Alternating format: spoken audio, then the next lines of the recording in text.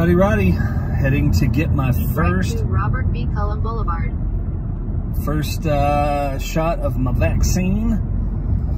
April 2021. In a 2021. quarter of a mile, turn left on Grand Avenue. Thanks, Darlene. That's my uh, navigator, Darlene. Anyways, uh, heading to Fair Park, get my first shot. Hopefully, I can capture it on video. All right. See you in a sec.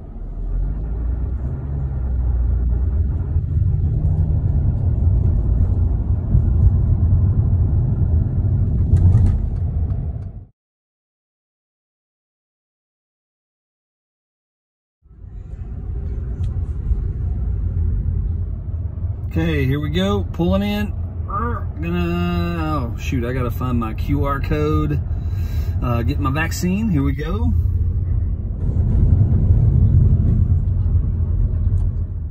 Okay, I'm all masked up. Here we go. Pulling up. Okay, got my markings here.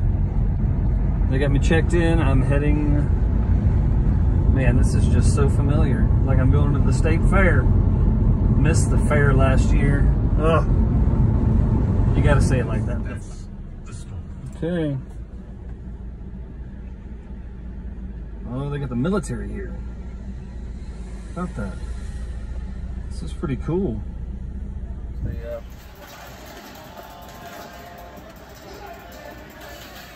Yeah, it's good. That was a experience. Alright. And, uh, No Hello Kitty band-aid? Bro. Yeah! I get a sticker?